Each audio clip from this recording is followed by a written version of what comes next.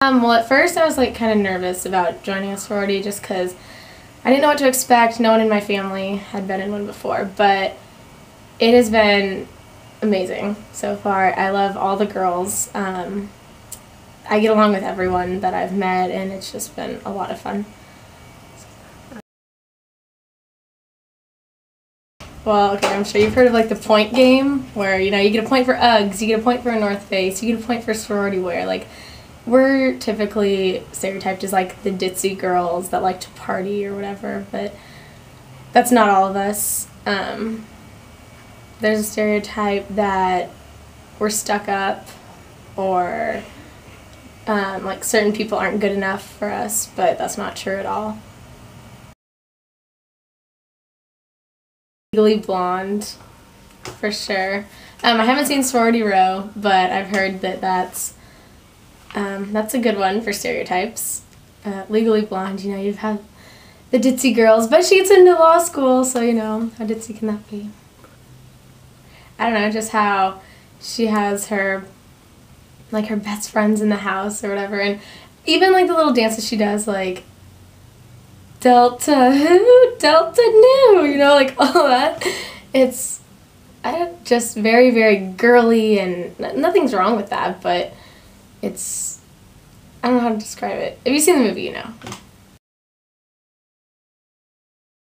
Well, there are definitely different stereotypes for each house, and so a lot of girls going into Rush know those different stereotypes, and that'll scare a lot of people, um, thinking that they don't want to join a house based on what they're like known for. But many times that is not true whatsoever.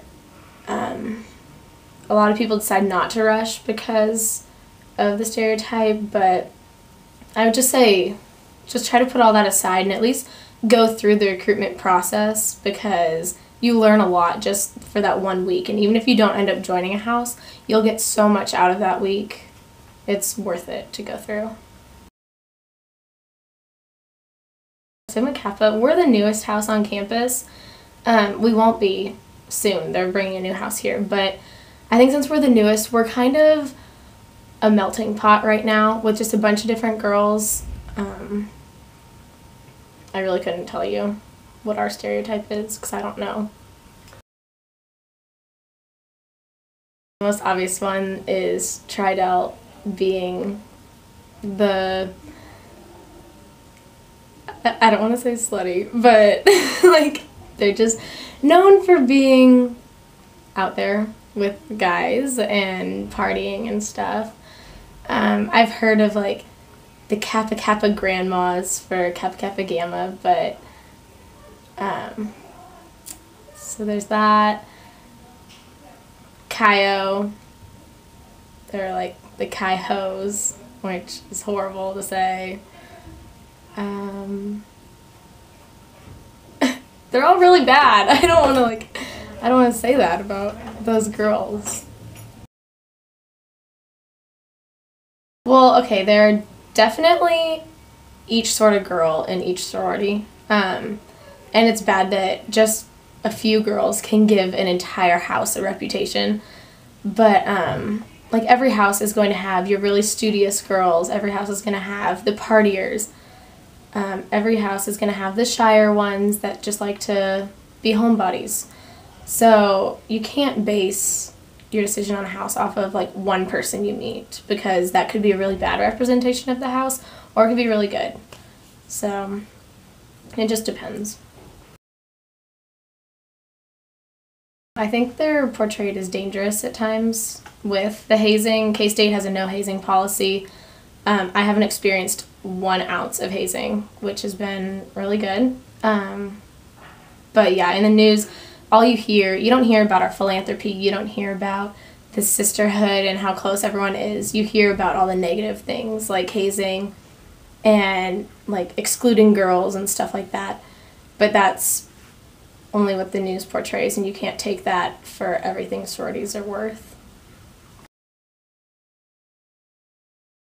Favorite thing about being in a sorority was definitely meeting all the girls and just building the friendships from the beginning. Um, it's different from high school. In high school, many times people just kind of stay with their own grade and make friends that way.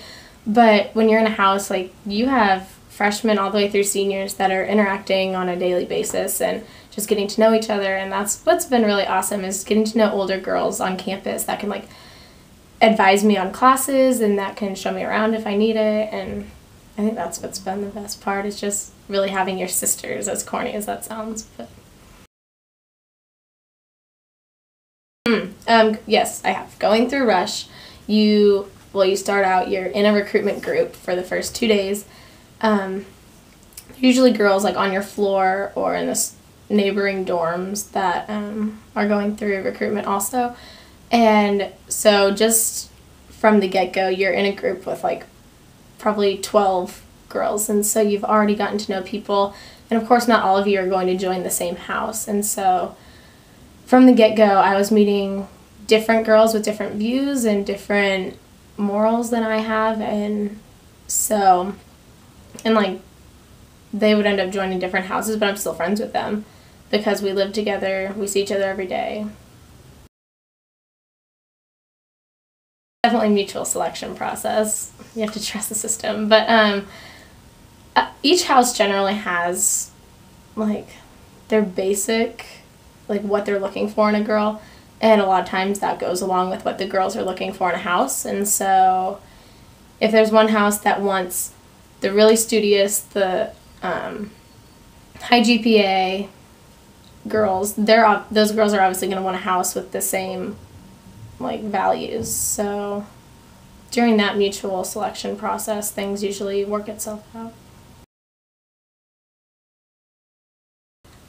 They're exclusive, obviously. I mean, they're not going to necessarily let a white girl into their sorority, probably.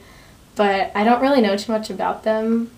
They are kind of like behind the scenes, I guess, or just kind of kept on the down low.